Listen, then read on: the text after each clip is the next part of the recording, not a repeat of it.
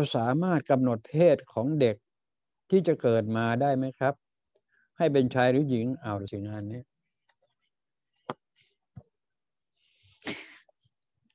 เมื่อกี้ผมพูดว่า หนุ่มสาวใด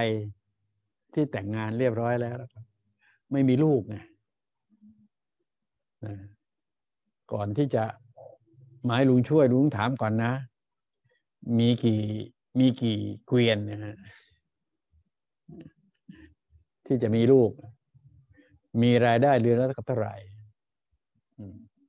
ถ้าหากก็มีรายได้สองคนสีผัวเมียรวมกันแล้ว รายได้ไม่ถึงสองหมื่นสามหมื่นไม่ถึงสองหมื่นอย่ามาขอจะไม่เอาให้เลยเกิดมาแล้วก็เดี๋ยวจะกลายเป็น อะไรล่ะเป็นภัยสังคม ต้องมีตุนแล้วอะคนละอย่างน้อยก็ สองล้านคนละล้านสองคนผัวเมียมนุษย์มิสาวเนี่ยเวลาไปให้จ้างเขาทำแพงเขานี่เยอะแยะอย่างเงี้ย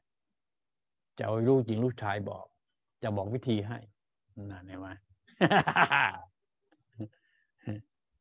จะบอกวิธีไปทำเอาเองนะครับ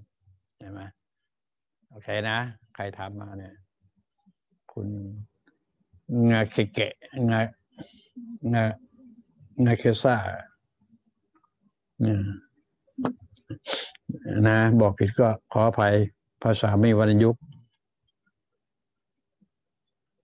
อันนั้นนะ